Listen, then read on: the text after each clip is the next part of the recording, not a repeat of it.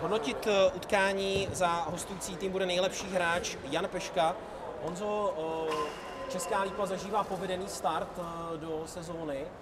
Jak důležité bylo dneska naladit se na tohle severočeské derby? První pro tvoje.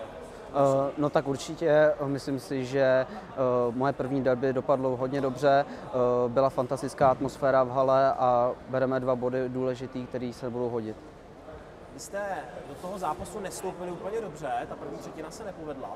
Eh, Ten zlom nastal ve druhé třetině, souhlasí s tím, že to byl důležitý okamžik, kdy jste dokázali utkání otočit? Byl, myslím si, že jsme do druhé třetiny stoupili víc, eh, víc sebevědomě, víc jsme si věřili na balónku, eh, zachovali jsme klidné hlavy, než nechodili jsme do toho bez hlavě a vyplatilo se.